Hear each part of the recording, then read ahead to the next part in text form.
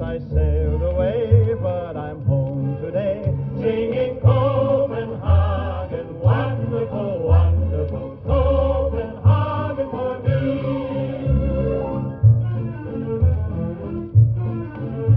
I sailed up the Skagerrak and sailed down the Kattegat, through the harbor and up to the quay, and there she stands waiting for me with a welcome so warm and so gay.